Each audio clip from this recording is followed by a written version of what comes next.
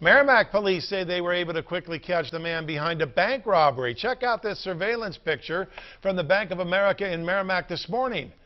The robber wore a President Obama mask and was armed with a loaded gun when he demanded cash.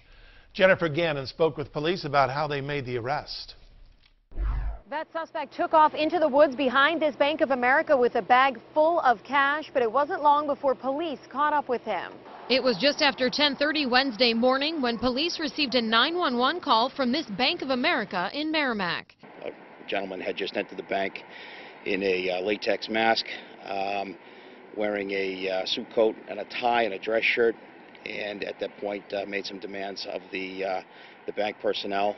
Police say behind the mask was this man, 52-year-old John Griffin Jr. of Newport. He made his way out of the bank with a bag full of cash and took off on foot. Police were on scene within minutes.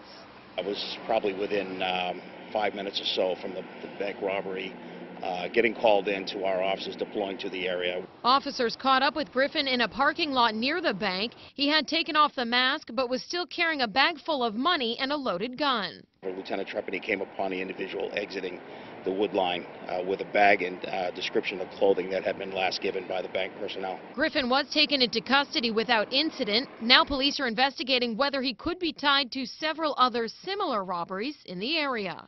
We are still looking into that, reaching out to other area police departments. We have been in contact with the Nashua Police. I know they have a series of uh, armed robberies in their city as well. Police in Merrimack say this is their third armed robbery in as many months, part of what law enforcement is calling an alarming trend.